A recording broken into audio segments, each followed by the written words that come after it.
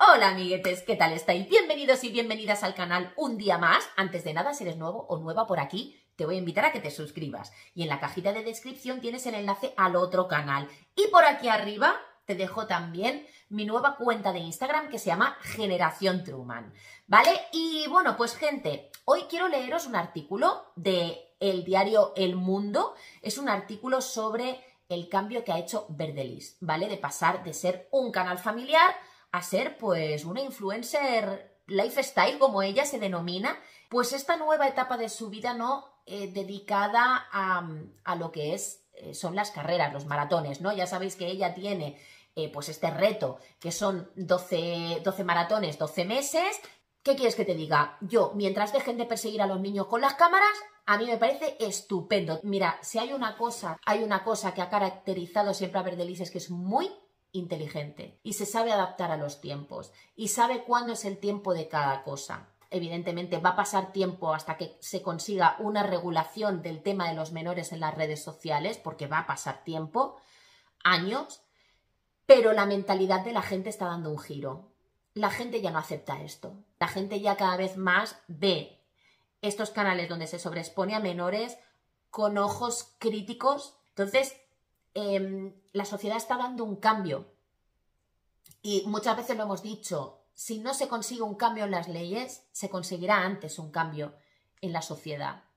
Entonces, la sociedad ya no acepta de tan buen agrado este tipo de, de stories, este tipo de vídeos, este tipo de canales. Entonces, donde todavía hay cuentas que tratan de aferrarse lo máximo posible al tema de los niños porque saben que es lo que les da cuartos y es lo que les da visibilidad y, es y se aferran ahí como a un clavo ardiendo y se llevan por delante a quien haga falta, Verdelis, que es inteligente, mira más allá y dice, vale, yo creo, ¿eh? O sea, quiero decir, esto es mi percepción, esto es mi percepción, ¿eh? No quiero decir que, que, que sea la realidad, pero yo lo percibo así yo percibo como que Verdelis dice, vale, es momento de ir cambiando mi contenido.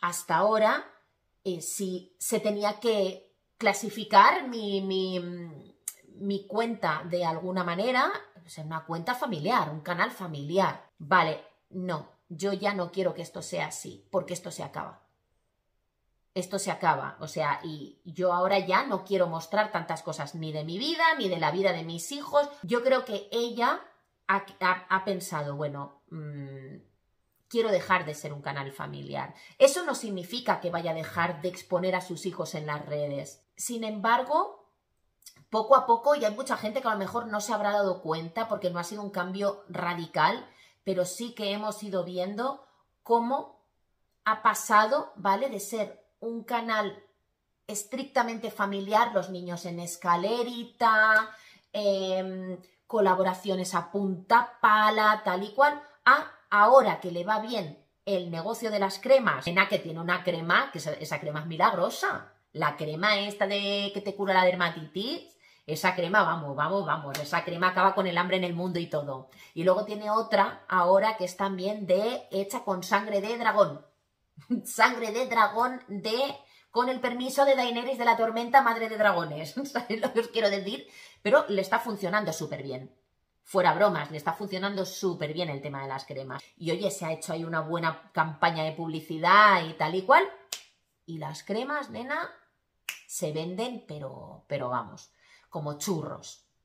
Entonces, eh, yo creo que a ella ya no le hace falta mm, el tema de publicitarlo absolutamente todo, que lo, lo sigue haciendo, ¿eh?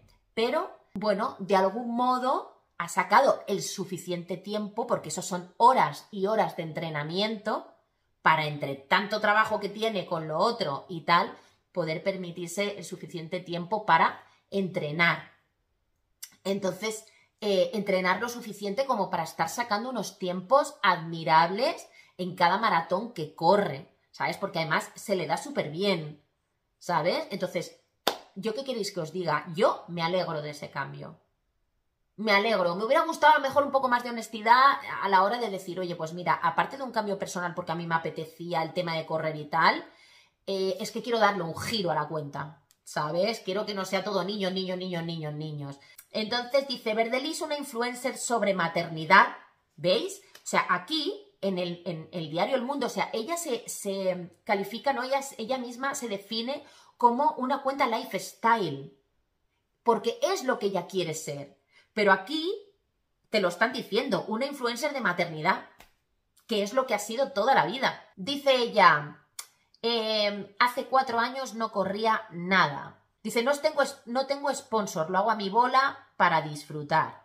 Dice que en, todas las redes sociales hay influencers de, deportes, ¿vale? Dice, pero es que mm, Estefanía Unzu no se presenta en redes como runner, ciclista o triatleta. Eh, que en su reto está dejando marcas admirables para cualquier eh, popular y que no lo hace como parte de una campaña publicitaria. Dice, Estefanía Unzu, más conocida como Verdelis, está haciendo un reto deportivo y con un éxito sorprendente eh, y le está cambiando la vida. 12 maratones, 12 meses. La última, la sexta de la lista, fue el 24 de septiembre en Berlín 3 horas, 5 minutos y 28 segundos, un tiempo destacable. Y la próxima, la séptima, será en Ciudad del Cabo el domingo que viene. Hasta el confinamiento no corría y ahora se encuentra en la tan ansiada frontera de las 3 horas. Dice, yo era bastante sedentaria, no corría nada y fui una de esas personas que en la pandemia empezó a hacer más deporte. Mi padre es entrenador del club de atletismo Ederki de Pamplona, mi madre es la presidenta y yo fui atleta hasta los 18 años, pero la presión de la competición me impidió disfrutarlo. Para mí de pequeña era una obligación. Con el tiempo lo dejé y después del confinamiento, cuando empecé a correr, me di cuenta de cuánto me evadía. Supongo que me beneficia haber corrido de niña y que la resistencia se me da bien. Aquí te dice que eh, Verdelis forma parte de la primera generación de influencers en España, aquellos que abrieron un canal en YouTube en 2006 o 2007 y empezaron a crear comunidad de seguidores sin querer, dice, sin intención de hacer negocio. Auxiliar de enfermería en Madrid, sin conocimientos en marketing o audiovisuales, como reconoce, empezó hablando sobre maternidad y crianza. Es que no hablaba sobre maternidad y crianza es que hacía blogs familiares, sí, hablaba también sobre maternidad, pero eran blogs familiares, o sea, mostraba absolutamente todo de sus hijos.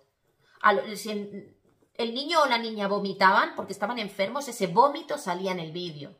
Quiero decirte, ese momento no lo editaban y lo quitaban, ese momento aparecía. Dice, hay una parte de mi comunidad, ella siempre con lo que le dice la gente, ¿no?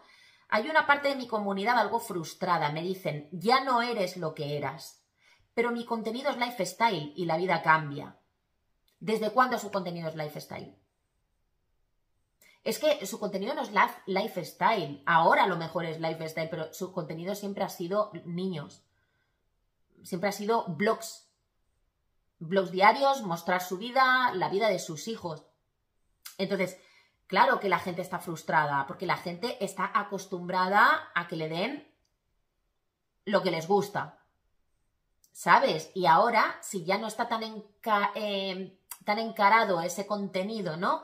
En, en, mostrar a sus hijos y tal y cual y no sé qué, eh, tanto, tanto, tanto, tanto como lo hacía antes, y ahora pues ya va un poquito más a su bola, corriendo y no sé qué, pues claro, la gente se siente frustrada, evidentemente. En fin, gente, que ella está muy motivada, yo me alegro muchísimo, sinceramente, que tire por este, por este camino y me gustaría que en un corto plazo dejase de definitivamente de exponer a sus hijos en las redes sociales. Yo creo que si ella dice que su contenido es lifestyle y que la vida cambia, eh, como lo sabe ella bien, la vida cambia y está cambiando. Eh, la sobreexposición de los niños en las redes sociales no tiene cabida ya. Entonces, jolín, pues, ¿qué queréis que os diga? Yo no sería algo que criticaría de Verdelis el tema de que ahora esté corriendo me encantaría. Y ojalá, mira, y ojalá, habiendo sido la pionera en el tema de la sobreexposición de los menores en, en redes, ojalá fuese la pionera también en decir, se acabó. ¿Sabes? En fin, gente, hasta aquí el vídeo de hoy. Dejadme en los comentarios a ver qué opináis acerca de todo esto. Si os ha gustado, darle like, compartir, suscribiros al canal, activar la campanita de notificación en la opción de todas. Os mando un abrazo muy fuerte.